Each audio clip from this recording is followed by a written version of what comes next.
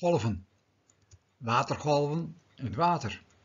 Geluidsgolven in lucht. Een longitudinaal golf trouwens. En licht, ja, dat is weer iets aparts, hè?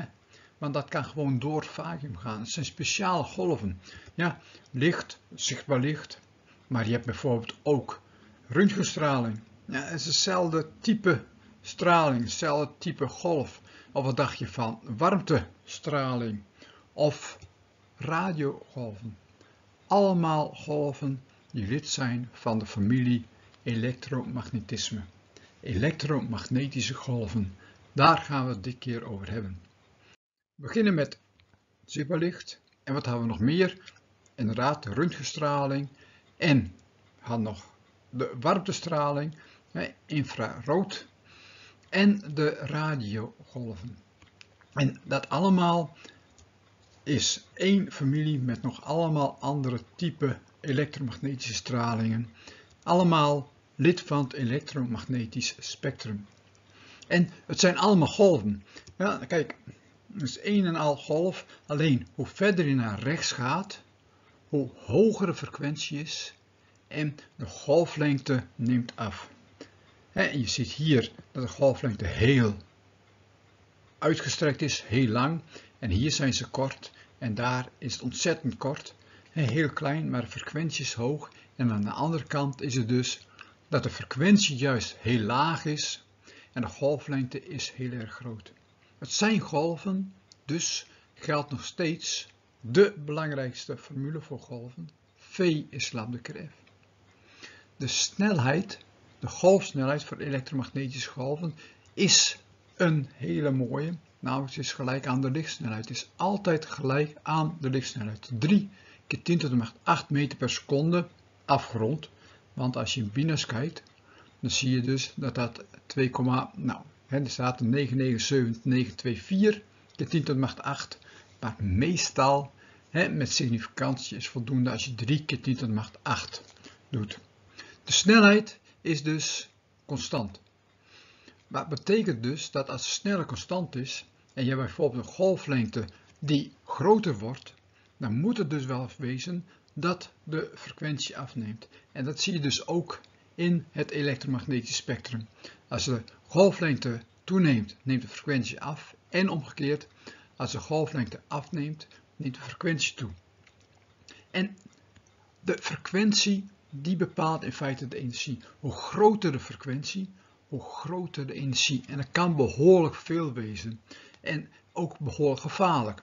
vooral als je bij de gammastraling zit, de radioactieve straling, dan kan het behoorlijke gezondheidsproblemen opleveren. En iets meer naar het licht, de ultraviolette straling, waar je lekker bruin van kan worden, maar het kan ook schade aanrichten in de vorm van huidkanker.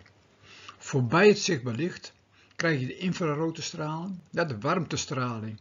En die heeft veel lager energie en heeft minder schadelijke gevolgen. Ja, het is heerlijk warm.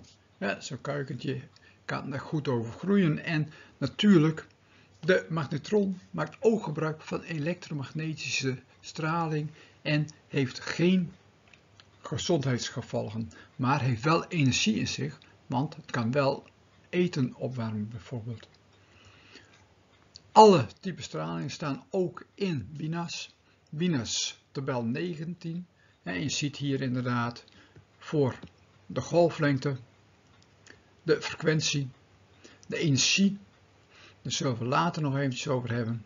En hier zijn de omschrijving van welk type golf het allemaal is. En een golf zie je hier, en een golf dat plant zich voort. Ja, in dit geval van links en rechts. Maar je kunt ze golf ook zien als niet een trilling die zich voortplant, maar als deeltjes die zich voortplanten. En dit is alleen met elektromagnetische golven zo, niet met gewone golven. En die deeltjes in een elektromagnetische golf, dat worden fotonen genoemd. En zo'n foton, dat kan energie overdragen op iets anders. Bijvoorbeeld het DNA, waardoor DNA schade ontstaat. Of bijvoorbeeld wat minder heftig in een magnetron, waardoor dus de energie wordt omgezet in warmte. energie van een foton kun je berekenen met H keer F. H, hmm. H, tja, wat zou dat zijn? Eventjes een beetje uitvergroten en we pakken eventjes alles bij elkaar. Allereerst de E, nou, dat is de energie van het foton in joules. Daarna heb je de F, die weet je ook al natuurlijk, frequentie van het foton. En H, wat is dat? H, dat is de constante van Planck. Planck. Wie is Planck? Nou, Planck is deze meneer. Natuurlijk een natuurkundige die de naam heeft geleend aan de constante van Planck. En een constante staat natuurlijk altijd in Bina's tabel 7. Kijk, daar staat de constante van Planck. En dan zie je dus dat de constante van Planck behoorlijk klein is. Ja, 6,6 keer 10 tot de macht min 34. Eenheid joules maal seconde. En dat eh, kun je meteen wel zien uit de formule E is H keer F. Dan moet de constante wel joules maal seconde wezen, wil je het kloppend maken. Goed, constante van Planck, elektromagnetische golven. En die elektromagnetische golven komen dus vanuit het heelal ook naar ons. Al die sterren, die stralen licht uit. En dat zien we dus. Maar je ziet dus ook wel van, hé, hey, er zijn allemaal verschillende kleuren. En dat heeft te maken met verschillende frequenties. Heeft dus in feite ook te maken met verschillende golflengtes. Als je één ster zou bekijken, dan zul je zien dat de intensiteit verdeeld is over allerlei golflengtes. Dus ook over allerlei frequenties. Maar er is één frequentie, één golflengte, waar hij een maximum heeft. En in dit geval hier is dat een 0,475 micrometer. En die maximale golflengte heeft te maken met de temperatuur van de ster. En die kun je berekenen met deze formule. Dat de maximale golflengte is een constante kW gedeeld door de temperatuur. Nou, dus die lambda is een golflengte, natuurlijk in meters, het is een lengte. De temperatuur is de temperatuur in dit geval van de ster in Kelvin. En kW, dat is de constante van Wien. En de eenheid daarvan is meter mal Kelvin. En dat moet ook wel weer natuurlijk om deze formule kloppend te maken qua eenheden.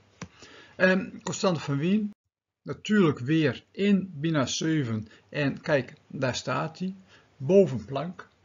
Uh, nou, Planck hebben ze net even gezien, is wel zo eerlijk natuurlijk dat we meneer Wien ook even zien. Kijk, daar hebben we hem. Goed, hebben we die ook weer gezien en dan gaan we weer verder. Um, die lambda max is k gedeeld door t, dat wordt de wet van Wien genoemd. En daarmee kun je dus bijvoorbeeld van een ster bekijk je eerst eventjes van, hé, hey, waar schijnt dit veld? Dus wat is zijn maximale golflengte? En dan kun je de temperatuur van een ster berekenen, want de temperatuur is natuurlijk eventjes omgewerkt k gedeelde lambda. K, de constante, die weet ik, althans kun je opzoeken in bina's. De maximale golflengte, die meet je dus hè, door naar te kijken. En dan kun je zien van, hé, hey, de ster die ik hier heb gezien is een dik 6000 Kelvin in temperatuur. Nu heb je het meestal met een ster, maar dit geldt niet alleen voor een ster.